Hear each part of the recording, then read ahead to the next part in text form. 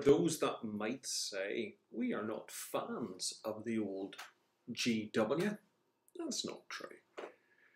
I have a shelf of 80s era, 90s era board games with their brand stamped all over it that refute such remarks. And indeed, back in the day, many an army was owned. A thousand Blood Angels, Vampire Counts, Tomb Kings, Dwarves, Undead, Chaos, Iron Warriors, Iron Hands, Eldar, Small Tow, bit of Imperial Guard, things like that. I've even dabbled kilting and stuff. And indeed, at the Bunker Club, there are many who enjoy the wily ways of Age of Sigmar and stuff like that. 40k, however, is a thing that kind of pretty much falls by the wayside. It seems that you love it or you don't, maybe. Um, the middle ground is fairly rare to find, um, be it raving fanboys or absolute hater, hater, hater, haters. However, a big brand new shiny core box cannot be ignored. Love it or loathe it, whatever. One has to have a look inside and see can it tempt you back? Some are saying that it now plays a bit more like Age of Sigmar, and the Age of Sigmar is a good system. Indeed, some of our staunch hard nuts have become very big Age of Sigmar fans. Um, but not exclusively. They enjoy a game or two of it and then put it away and go and play other things, board games and all the rest of it. And that's possibly where we vary in the mix. Um, so yeah, Indomitus. In the grim darkness of the far future, there is only war. Made in the UK 0168 MGB. Stamped on it. Digitally stamped on it. Just there. It's kind of embossed in it Except no substitutes or something like that there, I guess. Um, pretty pictures in the back. The biggest observance, I suppose, is there's no terrain in this. This is just crammed full of miniatures. This box contains 368 page Warhammer 40,000 core rulebook, 24 page booklet, The Edge of Silence, 20 page assembly guide, Space Marine transfer sheet includes 61 Citadel miniatures, Space Marines, Captain, Lieutenant, Chaplain, Judiciar, Blade Guard Ancient, 10 Assault Intercessors, 3 Blade Guard Veterans, 3 Outriders, 3 Eradicators. Bar the first three miniatures there, I have no idea what they're talking about. Perfectly honest, no notion. Because, you know, once you moved out of Space Marines into Primus, I kind of, right, okay, whatever. Necrons, Overlord, Royal Warden, Plasmanacer? Plasmin? I don't even, not even going to try. Or that, something or other lord, 20 Necron warriors, 2 Crypto 3 Destroyers, Canoptek, Plasmacyte. Can, they, they're literally just making up words now. That, that's, they're back to the good old days of making up their own language so that people can't copy it. Uh, yeah, scarab swarms. Canoptek, that's it. That's an Egyptian word. It's not one you come across every day. You know, I'm reasonably well read, but Egyptian uh, Egyptian history isn't uh, sort of on my top 10 bedtime reading list. But anyway, I can get over myself not being able to read a word. I know plenty of people who can't read many words, so I'll survive. What's inside? Nice box, I've got to say. Art's quite nice. And it's probably a damning indictment on the future of Space Marines that there are really no Space Marines in here. So we get another nice piece of art. Not a big colourful one, this one. It's uh, all in blue tones. Very subdued. Possibly because it's Blood Angels. That's, that's an interesting choice.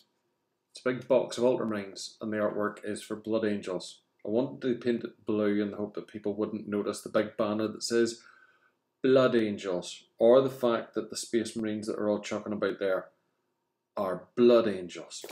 Oh well. And my goodness, there we are. We're right at the top of the box. And uh, yeah, it's, it's swimming in miniatures up to the lid. There's not an awful lot of space left there, is there? Um, I, I don't even know how we do this, frankly. Um, gone are the days of just opening a box and everything kind of making complete sense. By now, I'm imagining most of you have seen everything you need to see about this, to be honest. Um, we are opening it for, I suppose, really the sake of completeness, if nothing else. Uh, these are the Space Marine bikes, and I've got to say, I like what I see there. Um, they look a little bit more bike-like and sensible than the old ones. There's a there's a chunky kind of Judge Dreddness to them, um, but they do look as though they make some degree of sense. The riders are there. Room for all their bits this time. We're not ignoring the fact that they need backpacks and stuff. But that that's nice and clean and crisp. Gotta say, it uh, it looks the part. Looks like it might be fun to build. And and I suppose that's that's the test of this, isn't it? If a mild cynic such as myself can open this and think, yeah, I wouldn't mind building that, then that's a win. Um, doesn't mean you have to play it. Plenty of people buy and build and paint and then just sell it, give it away. So, no hardship there. Necrons. Now, the Necrons are really ornate in this one. Even just a quick look at the pictures in the back, there's an awful lot more. There's an awful lot more of a sense of movement to them. And I mean, we're looking here and seeing sort of on the spine segments, you know, we're seeing all the the different uh, elements to the spine, and there's a sense there's a sense of movement uh, in amongst it all there too. All the articulation points look nice and clean and sensible. There's a couple of little sort of bits that look like they're scenic elements, sort of church windowy pieces going on there too. I mean, looking at the sprue, I have no idea what this builds up to. I would need to, to check the instruction manual. I have no idea what scythes or something, scythe warriors maybe or something like that there. It looks interesting. Gotta say, the bike makes me look at it and think, nah, wouldn't mind building that. This makes me kind of go, oh, I don't know what it is. Uh, show me what it is and I'll decide if I want to build it.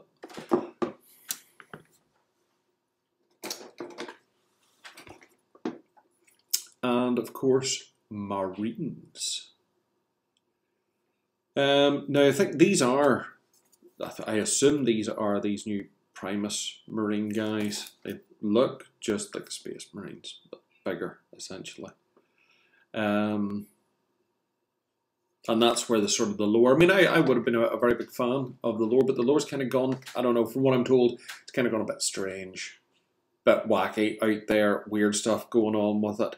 Um, and I suppose if you take away all the Space Marines and you just left these, these look exactly like Space Marines. And if you don't have anything scale wise to compare them against or feel bad about, you'll you'll be happy and you'll just carry on calling them Space Marines. You'll not worry about all the weird little names for them, unless you're a diehard. But yeah, they, they look alright.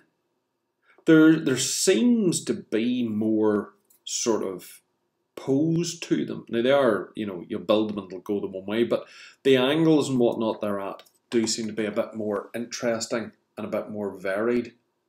So that's probably a good thing.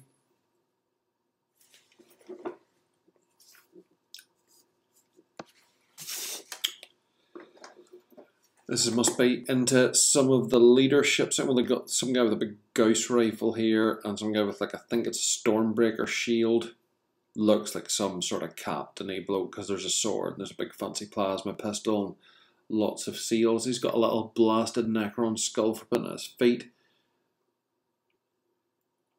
Yeah, quite nice. Oh, you're not really seeing that, waving that up in your faces. Look. Well, you can't see the, the front frontal. This is the weird thing about using these virtual backdrops. Of course, you forget because when you hold stuff up in front of you, sometimes you can see it and sometimes you can't but we've got the, the top down, so that's more what I'm concerned about you being able to see there. Yeah, cute.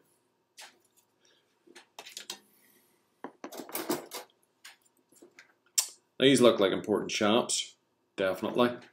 We've got big scenic bases going on, big chunks of rock everywhere, gigantic Necron. This must be one of the lords. Big scythe with huge bits and actually plugs into his spine for power. Some sort of big arm weapon, hammery thing. And then chaplain or captain. Again, big shield wrecked neck Necron for putting his feet. There, there's not, even though there's no terrain in this, there seems to be lots of nice little elements to dress it up with, and that's good. There's lots of little broken features uh, to throw about the bases of these things. Yeah, okay. I, I gotta say, I like that. Um, both those look, yeah, I, I look at those and I can of see what they're supposed to look like. And I've got to say, yeah, would I, would I build them? I think I would. Yeah.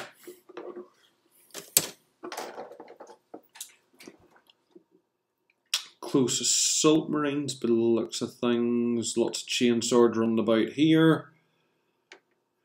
Loads and loads of chainswords actually. Love to build a, a one-to-one scale chainsword at some time. Must get around to doing that.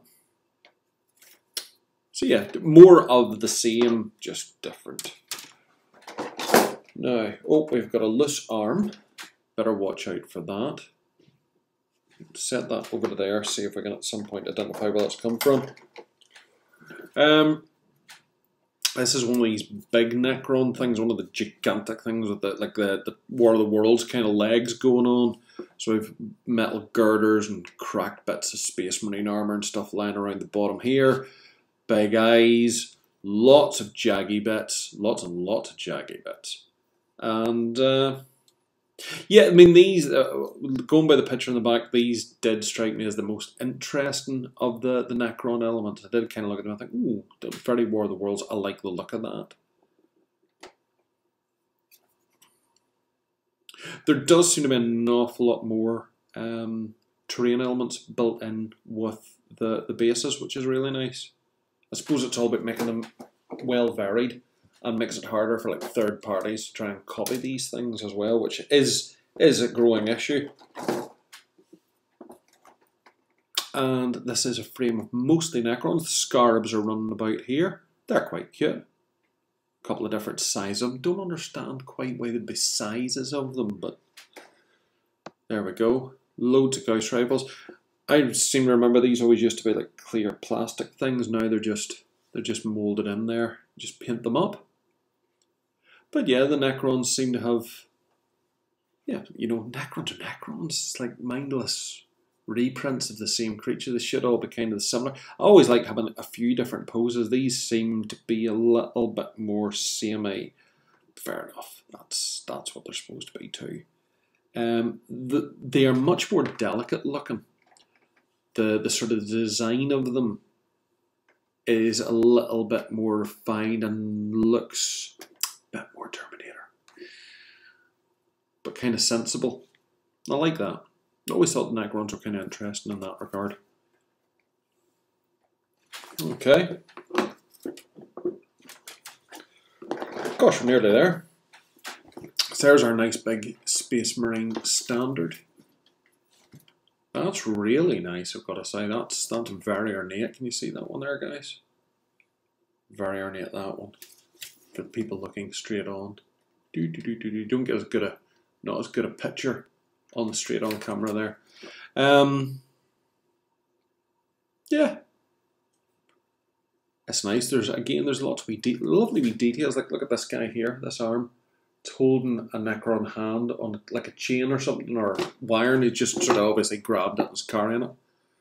That's uh, that's quite cute. Gigantic high heel boots. Look at the birds. That is some set of heels on you, big fella. Jagers. Height issues much? Compensating for what? He must be.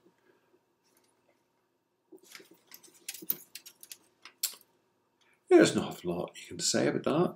You know, they are what they are. Big shooty heads. Big shooty heads never go away. They, they never get old, do? Ah, always got a bit big shooty Space Marine head.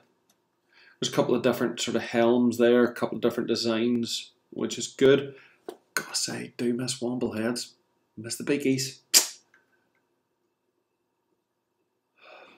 Of be weird if the new Marines had beakies too, though, wouldn't it? Should bring back the beakies.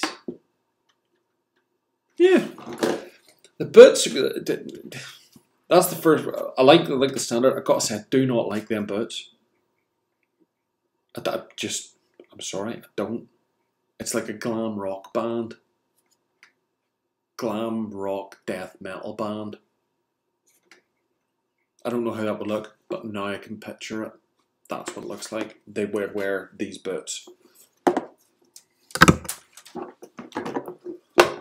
And more neckies. Yep, just the exact same thing again. So nothing weird or wonderful there to report. It's just another frame of the same thing. And we get another picture. Still Blood Angels. Separating the trays. So then what are we into here? Oh, wait, they've included a Indomitus, a new Warhammer 40,000 novel from Gav Thorpe. I suppose they had to get a I've got an Ultramarine in there somewhere, didn't they? Wonder did they forget? Then we've got Edge of Silence.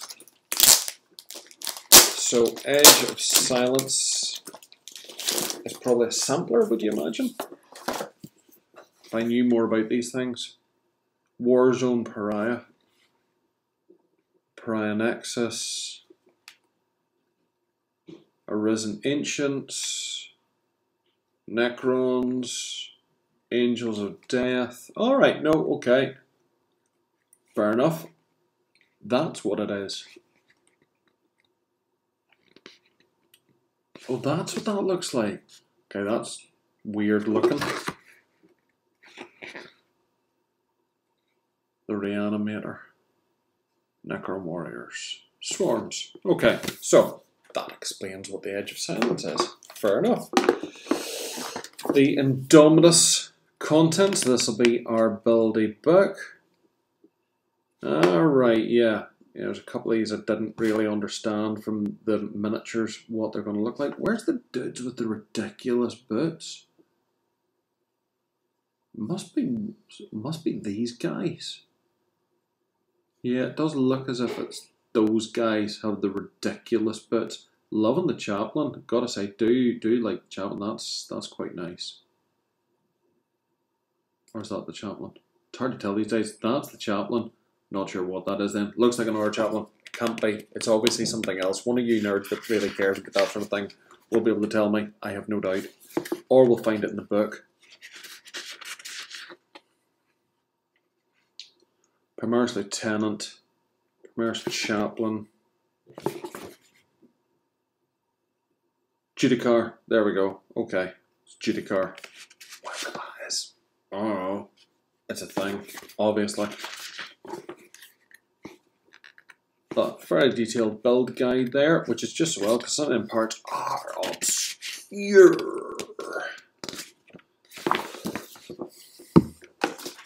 I should really put them back into it. Now, book. Now this is oh now this is nice. Okay.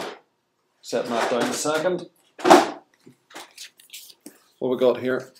Transfer sheet. Old school. Never gets old. That's that's quite pretty. Doesn't have new book smell.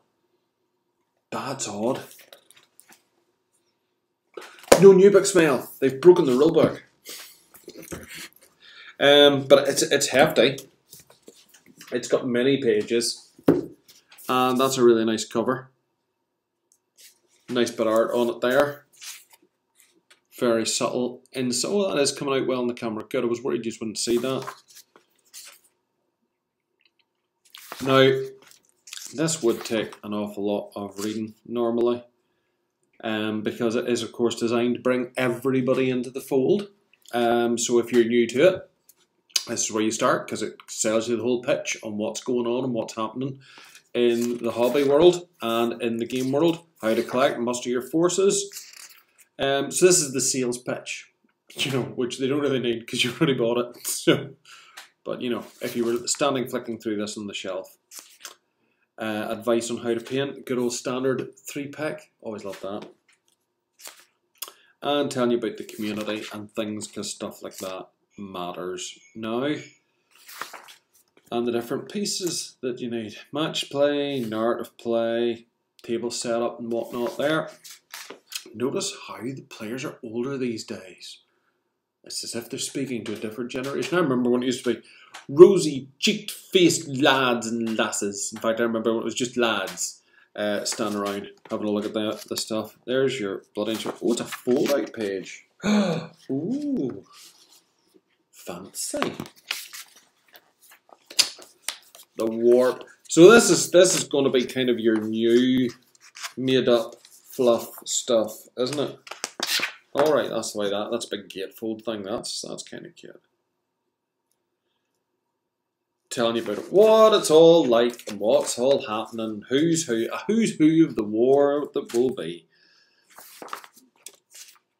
Imperium Nihilus, the Emperor of Mankind.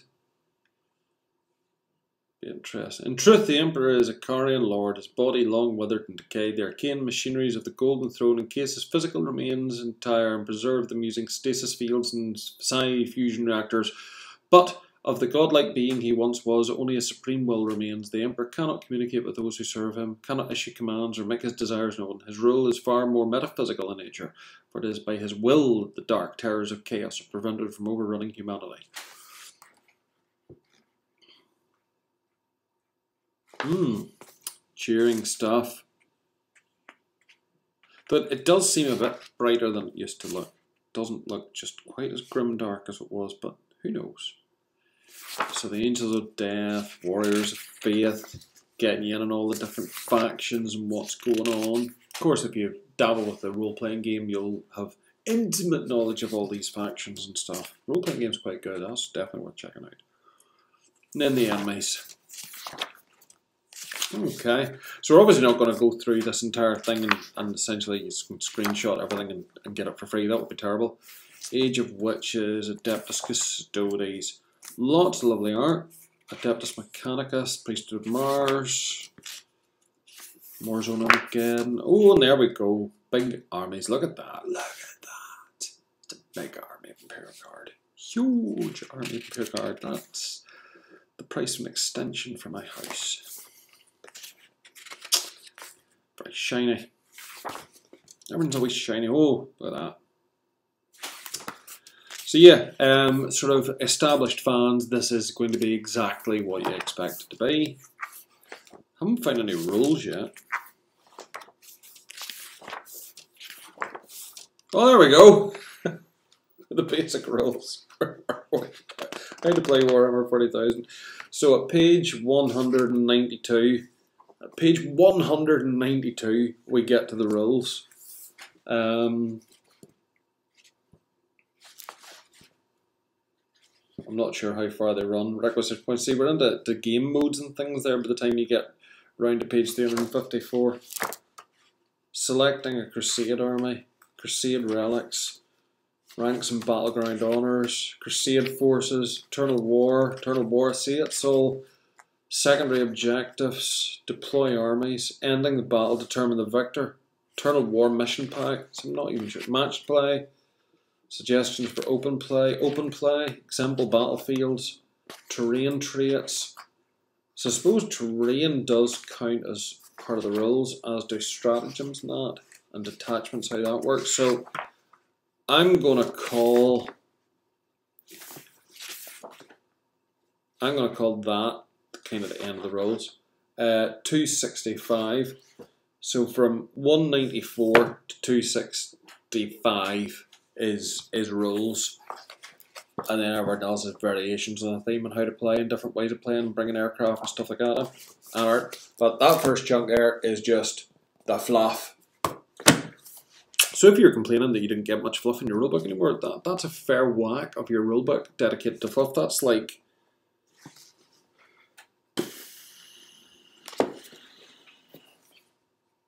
that's like half. Yeah. But half your rulebook is fluff ish. So there we go. If you were feeling low, oh, and there's even got a little page marker as well. That's cute. Nice. Um, Yeah, I, I have to say, I have to be honest, I wouldn't mind getting a proper flick through that and sort of catching up with where, where they are with things now. It did seem interesting enough to my eyes in that respect.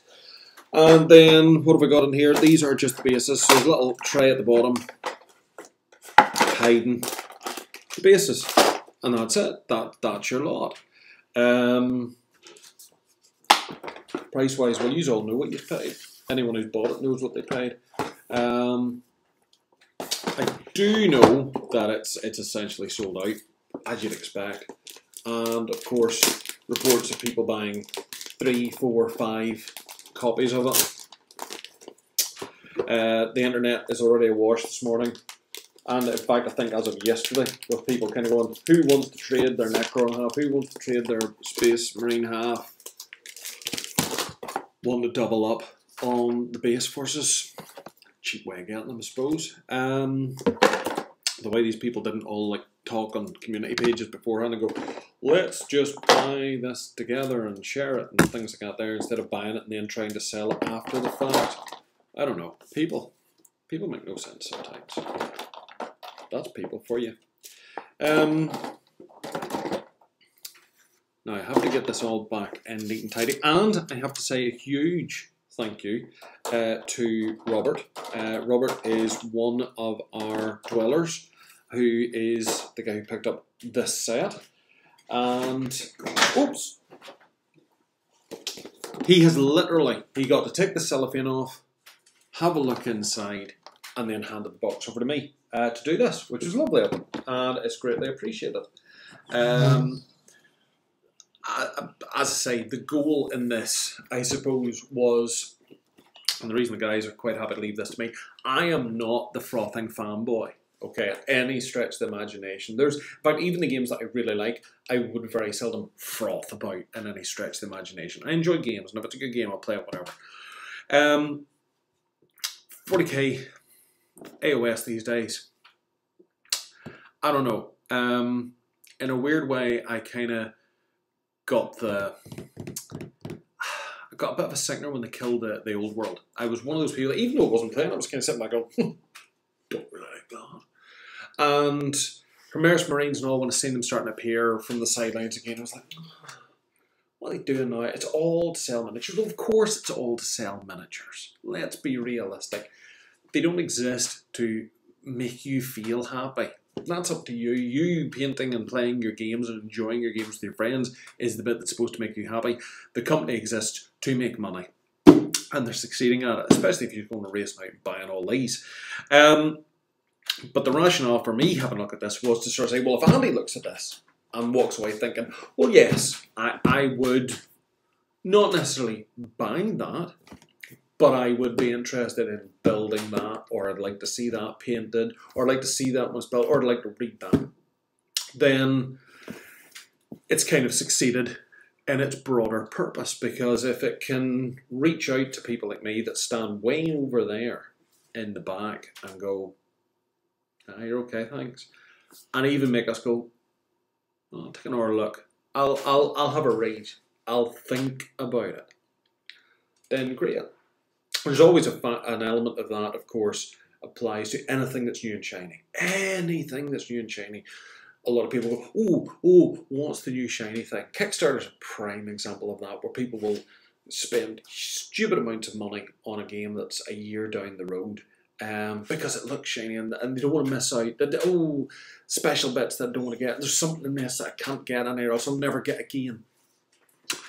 But I have learned to kind of walk away and step back and go, and I've got a pile of stuff over on that shelf that's special and you won't be able to get again and I still haven't built it or played with it or whatever. Coming away from this, there is there's a small cell somewhere buried at the back of the head going, maybe. But the big forward bit goes, don't care about Necrons. Don't care about all Marines. I come away from this thinking, you know what? 30 quid. Pick up a rule book. I'll pick up the rule book. And if if what I see there makes me want to engage with the game again, then you know what? I'll look at doing AdMech. I'll look at doing Blood Angels. I'll look at doing Iron Hands. One of them. And, and that is a case of fact. I can look at this and go, yeah, okay, I, I could I could see myself doing an army. Um, with absolute detachment, no sense of, well, you know, I say an army, but that's how it starts. Yeah, that is how it starts. That's how it started, and that's how I walked away. Um, it does seem to be a good value set if you are wanting Ultramarines and or Necrons in a position to do swaps about these with your mates it seemed like a fair package. You will pick this up from some suppliers at the around the hundred pound mark. Again, of course, now whilst it's in short supply and it's going to be like December before GW can fulfill the build to order versions, people will be charging whatever they want. And if you are of whatever mentality, you go ahead and spend whatever you want on it. Um, I will not. I will quite happily grab a rulebook and I will have a sit down, I will have a read at it, and I will make a judgment on that as to whether I engage with it again or go, well, you know what, that was an interesting read, but no, still happy enough. Who wants to buy a rulebook for 20 quid? Um, so yeah, there we go. I like it. I like the box. It's a nice set. Seems to be good value. It's well put together, well filled box set, and fair play to them. They have made it look enticing that's the best and the worst I can say. I mean, a couple of miniatures definitely jumped out as something I sort of thought to myself, yeah, I wouldn't mind building that. Um, but I don't feel any pangs at putting this back in the car now and driving around to Roberts Go, there you go, thanks very much. Uh, that was lovely, great to get seeing inside that. Uh, enjoy building it, mate. I'll, I'll be quite happy to do that and I'll be not like, mm, I wonder is there anywhere I can get one today? No, not interested. Uh, it hasn't pushed those buttons to that extent. So there we go. That's all I can say. Let us know your thoughts on the Indomitus box set, how you found it, what you like about it, what you don't like about it. Give us a comment down below. Um, if that in any way was interesting to you or whatever, give us a like, give us a subscribe, sure. And uh, I dare say that with the guys in the club uh, dabbling once again in this, it'll not be the last uh, 40k set that we probably end up having a little look at because if they're going to appear at the club or going to appear on mates' tables, we may as well show them off a bit to you as well. Thanks for watching. Bye bye.